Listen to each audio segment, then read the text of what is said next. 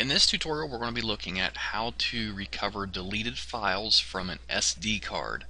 And this can be from any kind of an external device like a, um, a, a phone or a digital camera.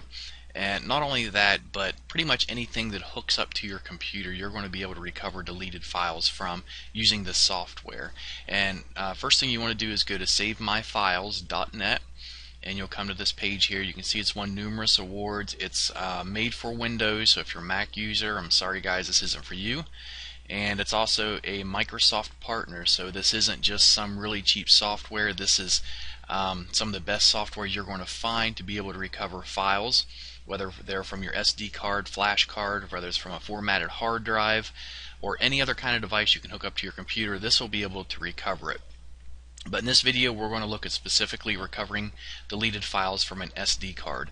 So once you download it, you're going to uh, install it and then run it and this is what you're going to see. This is going to be the main screen you come to and it's really easy to use. There's uh, really not that many options to choose from. It's just it's just super simple and you can choose to do a quick scan of all of your computer and devices, a full scan which is a more thorough in-depth scan or a guided scan and it, basically that walks you through it. But for the sake of this, we're just going to look at um, recovering deleted files from an SD card. And so we're going to click on the Advanced tab, and you're going to choose your SD card, which should show on one of these volumes here.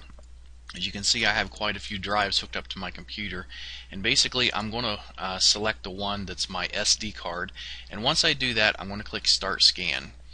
And then um, you also want to check mark these boxes. This just makes sure that it scans all areas. And then when we start the scan, you're going to see it goes through the process and it's already telling me it's found 100 items, 130, and it's going to keep going up and up. And what's really great about this is that it shows you which files it's able to find, such as the documents, the text files, compressed files, presentations, folders, binary files, other files, and then this keeps expanding depending on the kinds of files that it can find. And if there's any kind of files you have on there, whether they're for video, whether they're for photos, documents, um, software, websites, it doesn't matter what they are, it's going to be able to recover them. Uh, the software is really superb and it does an excellent job. You can see we're already up to um, 1100 items that it's found.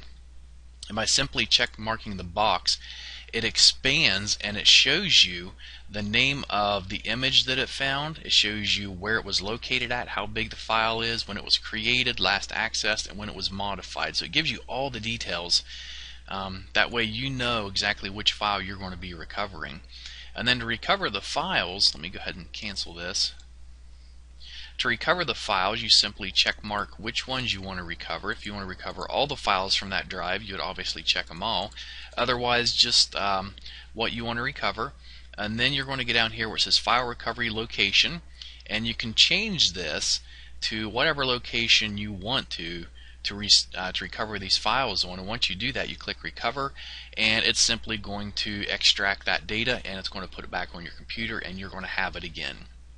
So if you want to be able to recover deleted files from an SD card, this is going to be um, one of your best choices. I've downloaded a lot of free tools in the past and they were not able to perform or, or do what I needed them to and this was one that that done a superb job and like I said it does more than just SD cards.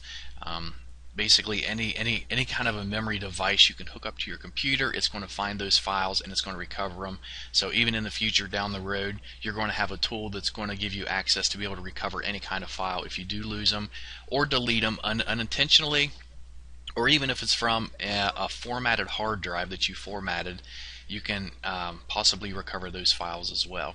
So if you want to check it out it's savemyfiles.net and the link is also listed in the description under the video. You click on it, it'll take you straight to this page. Just click the green button to download and you can uh, find out what files you can recover from your SD card.